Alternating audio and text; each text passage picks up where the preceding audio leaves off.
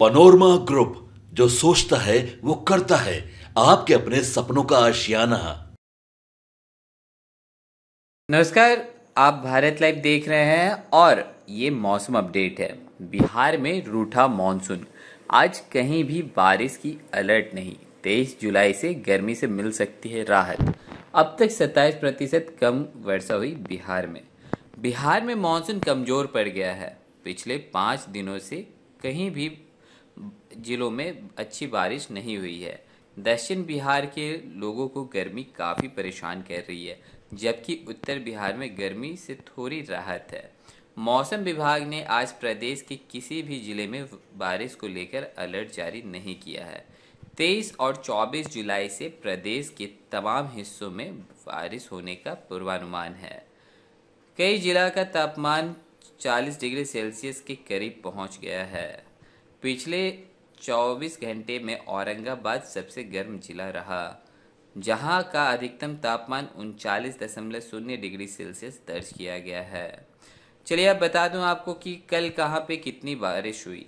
पूर्वी चंपारण में अंठावन मिलीमीटर, पश्चिमी चंपारण में 11 मिलीमीटर, बांका में चार दशमलव छः मिलीमीटर, सीतामढ़ी में तीन दशमलव छः मिलीमीटर और गया में दो दशमलव दो मिलीमीटर। वहीं शिवहर, मुजफ्फरपुर, मधुबनी, दरभंगा, वैशाली, सुपौल, अररिया, किशनगंज, पश्चिम चंपारण, पूर्वी चंपारण, सारण, सिवान, गोपालगंज, सीतामढ़ी, सहरसा, मधेपुरा, पूर्णिया और कटिहार में बारिश की हल्की संभावना है। तो चलिए अब प्रदेश में एक जून से 19 जुलाई के बीच सामान्य से 27 फ़ीसदी कम बारिश हुई है। हालाँकि मानसून सीज़न के दौरान प्रदेश में अच्छी वर्षा की संभावना है, वहीं बिहार के सात जिलों में औसत से ज़्यादा बारिश और 31 जिलों में ऐसे हालात हैं कि औसत से कम बारिश हुई है। पटना में 19 जुलाई तक सामान्य से 42 प्रतिशत कम बारिश हुई है।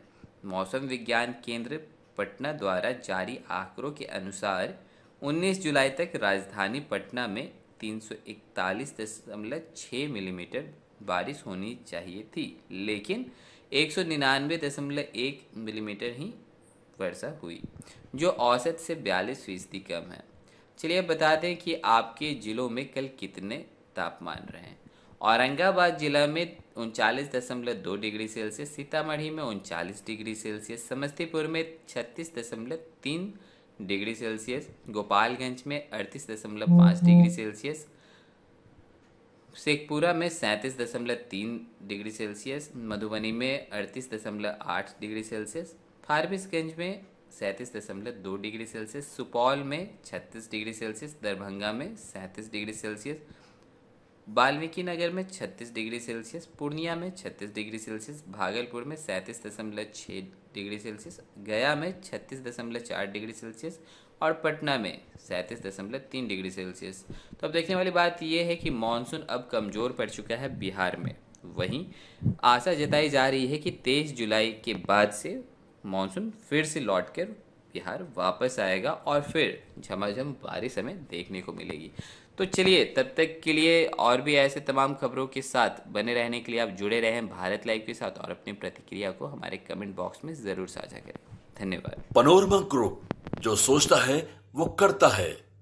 अगर ये वीडियो पसंद आई और वह बिहार के राजनीति और बिहारियत से सरोकार रखेनी तो सब्सक्राइब बटन दबा के चैनल के सब्सक्राइब कर ली। ओजे एगो घंटी बा ओकरा बटन दबा देला से कुल सटीक और मारक खबर रुआ मुफ़्त में मिल जाई। अगर रुआ पत्रकारिता के हमनी के नया प्रयोग में सहयोग कर चाहतनी तो ज्वाइन बटन दबा दी।